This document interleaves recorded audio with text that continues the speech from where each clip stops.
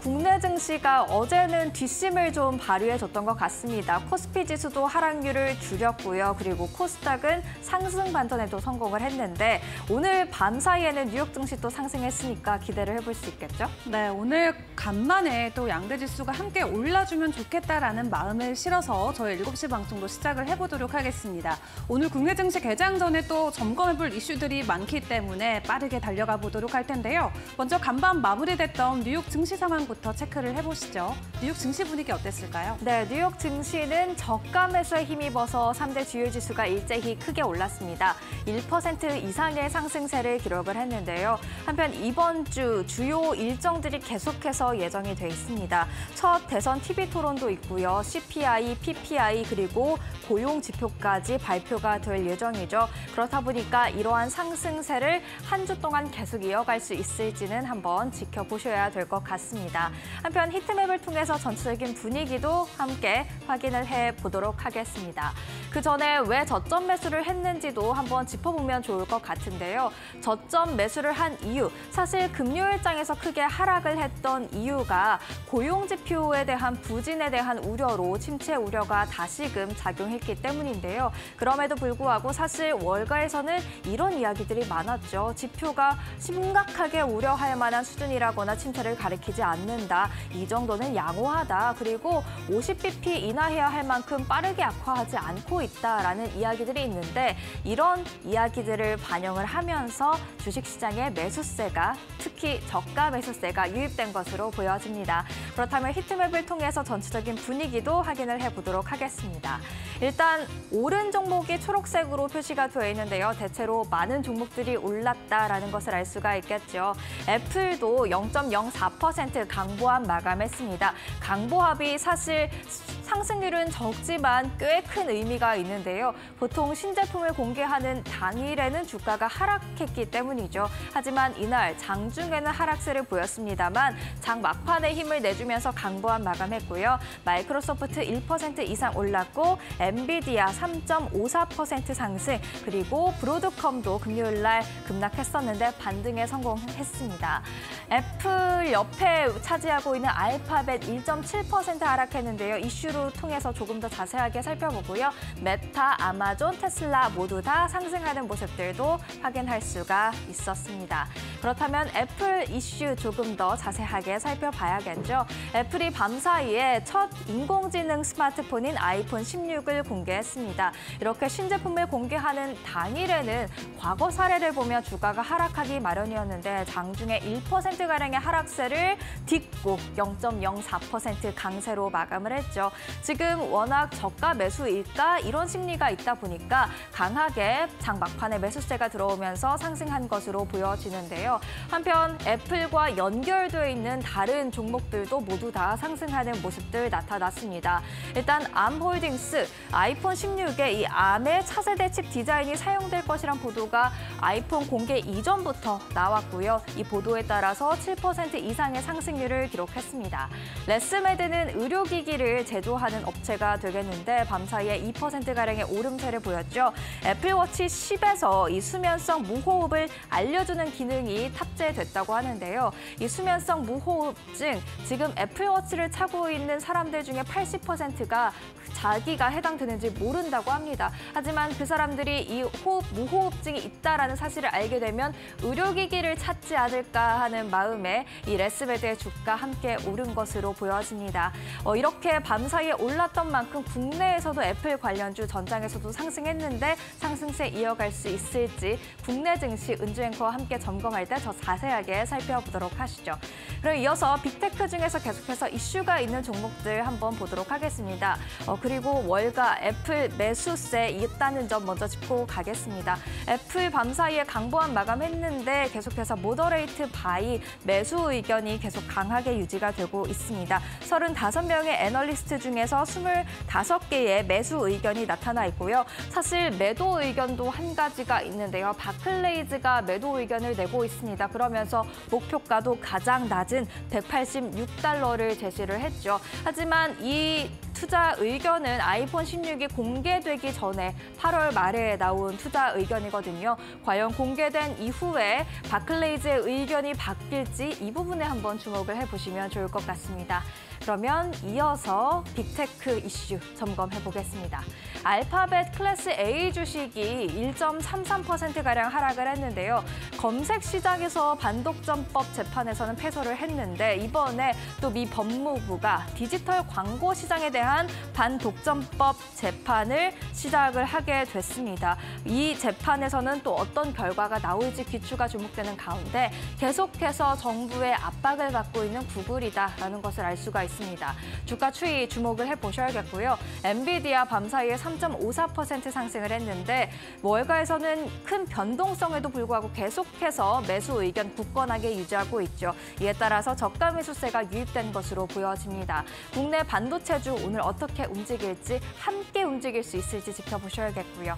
테슬라 2.63% 올랐습니다. 자율주행 모멘텀이 살아있는 모습들이죠. 과연 10월 이벤트에서 이 모멘텀 이어갈 수 있을지 지켜보 셔야 될 것 같습니다. 그렇다면 다음 내용으로 또 이어가 보도록 하겠습니다. 지금 빅테크에 대해서 그래도 계속해서 내리면 오르는 그런 심리가 나타나고 있는데 뱅크 오브 아메리카는 유틸리티도 주목할 만하다, 유틸리티 핫하다 이야기를 했습니다. 지금 올해 퍼포먼스, 올해의 수익률이 되겠는데요. 유틸리티 섹터가 가장 큰 올해 수익률을 기록을 하고 있습니다. 무려 tech보다도 더 높은 17.32%의 수익률을 올리고 있죠. 그리고 이날 뱅크 오브 아메리카의 주식 quant 전략가는 유틸리티 섹터에 대한 투자 의견을 동일 비중에서 비중 확대로 상향 조정했는데요. 그 이유로 두 가지를 들었습니다. 변동성이 큰 시장에서는 이 유틸리티가 방어적인 성격이 있기 때문에 아웃퍼폼하기 마련이다라는 이야기를 했고요.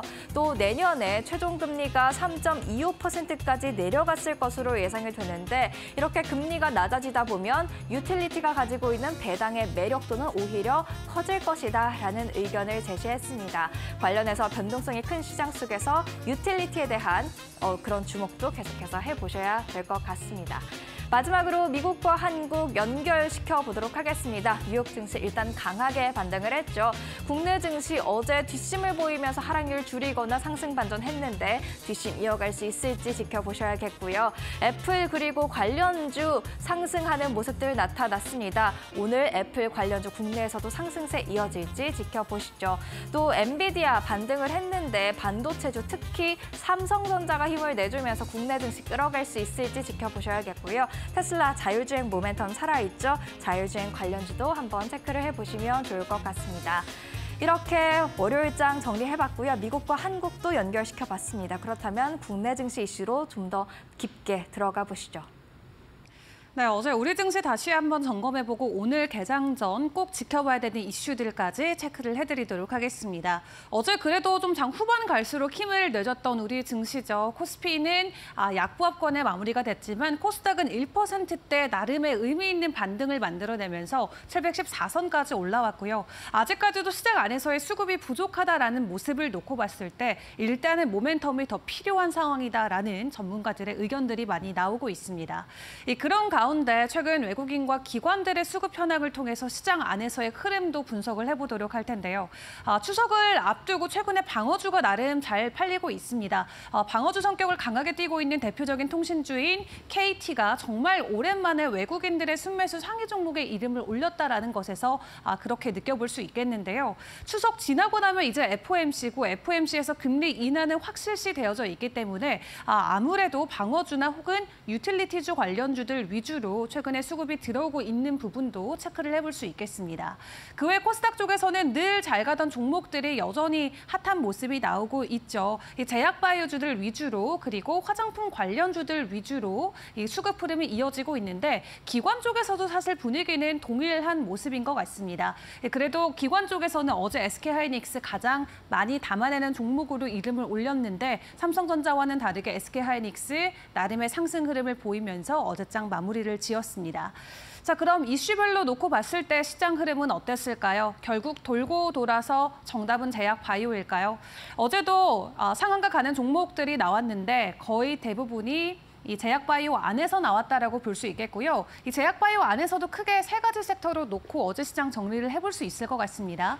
이제 다음 달이면 위고비 출시가 되죠. 일론 머스크, 뭐 킴 카다시안과 같이 굉장히 유, 유명한 셀럽들이 이 위고비로 인해서 다이어트에 성공했다라는 소식 이미 작년부터 시작해서는 굉장히 큰 화두였습니다. 드디어 다음 달에 우리나라에도 출시가 되기 때문에 이와 관련된 아, 비만 치료제 관련주들을 어제 시장 안에서도 상한가 들어간 종목들이 나왔고요. 대표적으로 대봉 LS가 상한가, DXBX는 25%대 상승을 보여왔습니다. 오는 2030년까지 성인들의 비만 환자 이 인구수가 12억 명이 전 세계적으로 넘을 것이다라는 통계도 나오고 있는 만큼 이 비만약에 대한 수요는 계속해서 증가할 것으로 보여집니다. 코로나 관련주들 안에서도 어제 셀리드가 상한가 안착을 했는데요.